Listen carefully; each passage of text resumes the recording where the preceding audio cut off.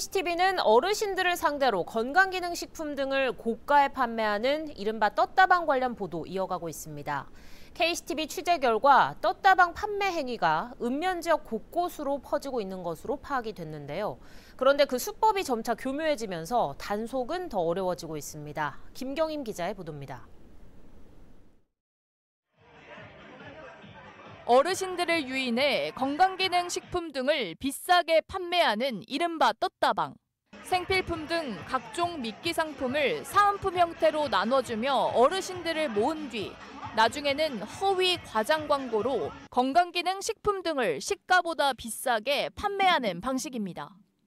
이런 식으로 운영되는 업체들은 시내뿐 아니라 고령의 어르신들이 많이 거주하는 읍면 지역까지 파고들고 있습니다. 심지어 전화로 식료품을 나눠주겠다며 어르신들을 모은 뒤 지역마다 시간대별로 특정 장소에 모인 어르신들을 차량을 이용해 홍보관으로 태워가는 방식까지 이뤄지고 있습니다. 그거 받으려고 갔다가 그또 잘못 가가면 그또 거기 넘어간단 말이야 선전에. 굶어뜯은 막 인도교장 막 굶어서 세워가지고. 굶어뜯은 할머니들 비벼 다니는 거 몇 개월 하다가 또 쉬었다가 또 문제는 그 수법이 점차 교묘해지면서 단속은 더욱 어려워지고 있다는 겁니다.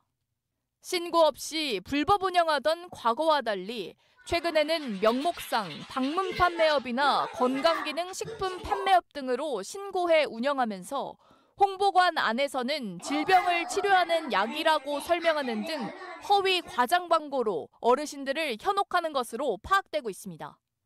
건강기능식품 판매업이나 방문 판매업으로 신고한 업장 약 1,300여 곳 가운데 휴폐업 같은 행정처분이 내려진 곳은 전무하고 현장 점검도 규모가 큰 대형 매장 중심으로 이뤄지는 수준에 그치고 있습니다.